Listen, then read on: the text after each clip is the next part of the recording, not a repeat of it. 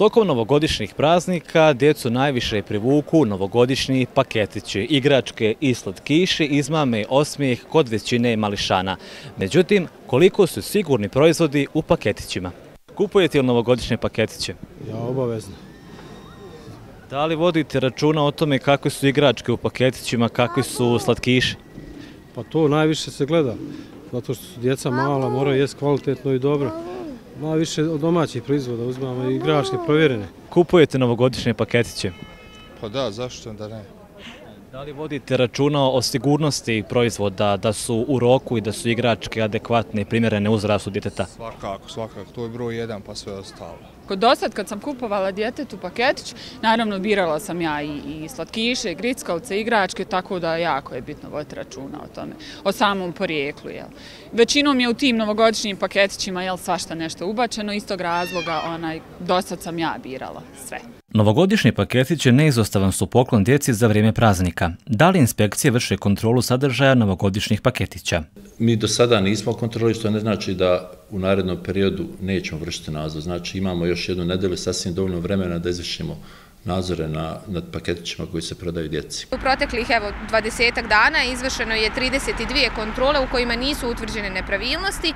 Cilj ovih kontrola je prvenstveno provjera rokova upotrebe proizvoda koji se nalaze i sadržaja deklaracija, da li su dakle proizvodi ispravni u tom e, smislu. Posebna pažnja kada je riječ o roku upotrebe obraća se upravo na to u kojem periodu ističe, dakle da to ne bude u dan, dva od, e, da kažemo, ovih novogodišnjih praznika, već da su to proizvodi koji svojim rokom obuhvataju i period nakon praznika. Paketići mogu sadržavati više proizvoda poput igračaka i slatkiša. Mogu li trgovci napraviti paketić od više proizvoda iz vlastitog asortimana te izdati fiskalni račun za svaki proizvod pojedinačno ili se paketić tretira kao jedinstven proizvod? Svakako da trgovci imaju pravo praviti ovaj praviti i prodavati paketiće za djecu, s tim da taj paketić onda postaje jedinstven proizvod. Jedan proizvod koji mora biti deklariran u skladu sa odredbom zakona o zaštitu potrošača.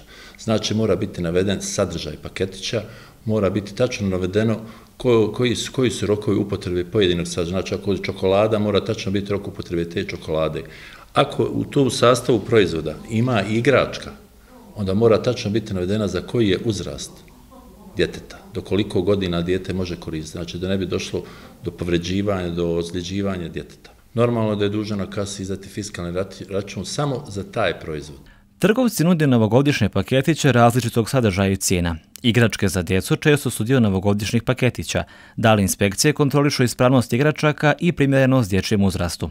Igračke koje se nalaze u paketićima predmet su kontrole zdravstvene inspekcije kako prilikom uvoza, tako i u unutrašnjem e, prometu. Te smo recimo e, radi pokazatelja za šest mjeseci godišnji izvještaj, izrada godišnjih nam tek predstoji, za šest mjeseci prilikom uvoza e, smo zabranili i po našem nalogu vratili i uništili e, skoro e, 27.000 komada dječjih igračaka jer je utvrđeno da one ne ispunjavaju propisane uslove bezbjednosti e, na prvom mjestu zbog nedozvoljenog sadržaja aftalata ili lakog odvajanja pojedinih dijelova koji mogu da kažemo da, da oštete zdravlje djeteta, dok smo u unutrašnjem prometu nakon izvršenih e, analiza i uzorkovanja e, sa tržišta povukli e, preko 2300 komada dječjih igračaka. Novogodišnji paketići dostupni su tokom novogodišnjih praznika u prodavnicama, ali se mogu naći na štandovima samostalnih trgovaca.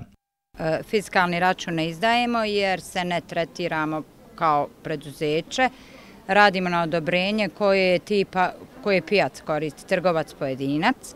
E, za moje slatkiše mogu da tvrdim da su sigurni zato što ih nabavljam na vele prodaj za koje dobijem fiskalni račun. Da li roditelji kupuju svojim mališanima novogodišnje paketiće? Pa kupuju, uglavnom je to na povjerenje, većinom su to stalni mušteri što se tiče paketića. Kakvi su utisci roditelja, da li su zadovoljni paketićima, asortimanom? Pa uglavnom jesu, što se tiče, znači pričam svoje ime, u godinama radim isti sistem, nikad nisam imala problem što se tiče paketića ili nešto.